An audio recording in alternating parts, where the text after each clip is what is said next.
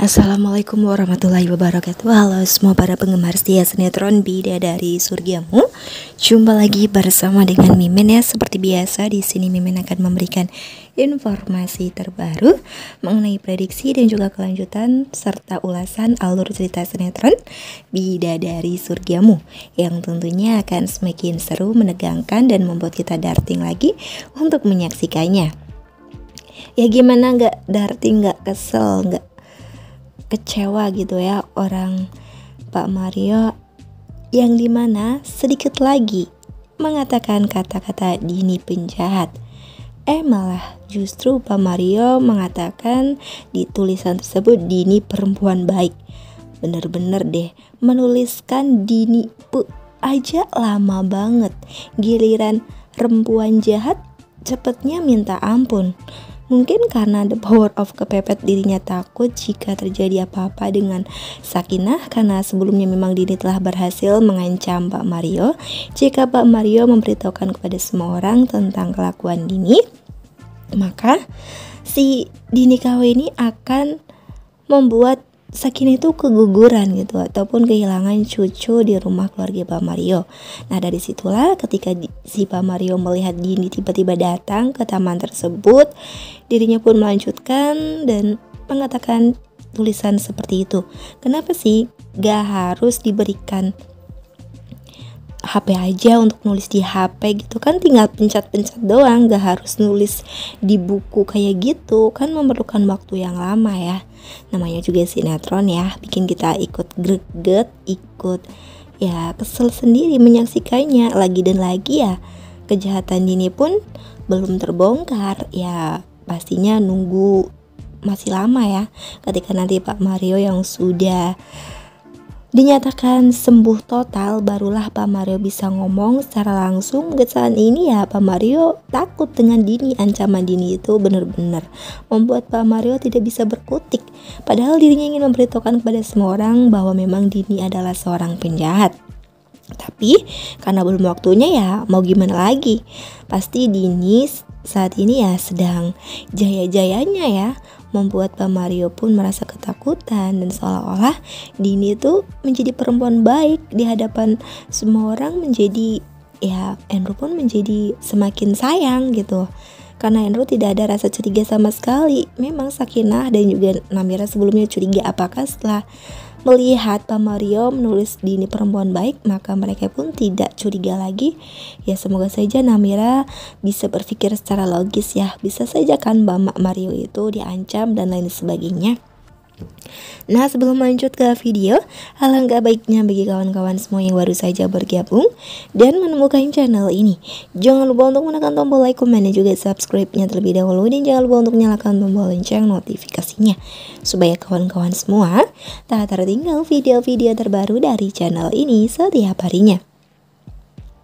Ya tentu saja nanti ini nih akan membawa Pak Mario pulang dengan alasannya Dini itu datang ke taman memberikan jaket ditakutkan Pak Mario itu kedinginan dan lain sebagainya. Nah, di situlah Andrew meminta kepada Namira dan juga Sakina untuk tidak berprasangka buruk lagi terhadap Dini ya. Benar-benar saat ini Dini sedang di atas angin ataupun di atas awan ya. Ya, sedangkan Sakina dan juga Namira sedikit masih curiga kenapa tiba-tiba Pak Mario menuliskan Dini perempuan baik padahal ketika kelihatan banget ya dari gerak-gerik Pak Mario ketika didekatin ini dirinya tuh merasa tidak nyaman, risih dan lain sebagainya. Ya namanya juga sinetron ya. Ya sedangkan di sisi lainnya kita pun sudah menyaksikan ya ketika si Dennis yang menyuapin bakso untuk si Flora Ya mau tidak mau Flora mengikuti permainan dari si Fadil ini. Fadil pun mencium perut Flora ketika Dennis menyuapi Flora ya agar Dennis itu tidak merasa curiga bahwa memang itu adalah Flora nyidam anak Dennis. Sebenarnya sih Flora itu jijik banget ya dicium oleh si Fadil. Tapi untuk menutupi ini sandiwara semua ya mau nggak mau ya harus ngikutin apa kemauan dari Fadil. Sebenarnya lucu juga ya Fadil dan juga Flora saat ini apalagi Ibu Sinta ya memastikan jika dirinya pun akan memberikan pelajaran terhadap Fadil Ya Fadil padahal sudah jujur lah sejujur-jujurnya mengenai anak yang dikandung oleh Flora. Tapi kenapa sih Dennis masih percaya aja dengan omongan Flora? Masih aja nurut-nurut dengan Flora ya. Seharusnya ya bisa percayalah dengan apa yang dikatakan oleh Fadil tersebut. Mungkin nanti ketika Dennisnya sudah menyuapi Flora dan Fadil pun sudah menyium perut Flora gitu ya mereka pun akan pulang. Nah dari situlah nanti mungkin Bu Sinta dan juga Flora akan menyusul rencana lagi nih untuk bisa dua langkah di depan Sakinah karena ya Fadil datang ke situ ya pasti atas pemberitahuan dari Sakinah. Sakinah saat ini memang sudah sedikit agak cerdik ya, tapi ya harus waspada. Karena memang Bu Sinta dan juga si Flora itu banyak sekali akal liciknya gitu loh. Lalu mungkin nanti ketika acara pengajian untuk mendoakan kehamilan Flora memang Dennis dan juga keluarganya diundang. Pasti ini nanti Flora akan bersandiwara lagi di depan semua orang. Bahwa memang Flora itu nyidam dan Flora itu menginginkan jika Dennis yang melakukannya gitu ya semoga aja sih ketika acara pengajian untuk mendoakan kehamilan Flora tiba-tiba Flora nyidam lalu ingin dilakukan oleh si Fadil ya karena ya Pastinya seorang idam tidak bisa untuk ditahan-tahan. Ya semoga saja semua orang pun bisa mengetahuinya. Tapi ya mungkin hasil tes DNA tersebutlah yang akan bisa membuktikan. Semoga saja hasil tes DNA-nya pun memang terbukti anak dari Fadil ya. Dikhawatirkan nanti Bu Sinta pun akan menukar hasil tes DNA tersebut.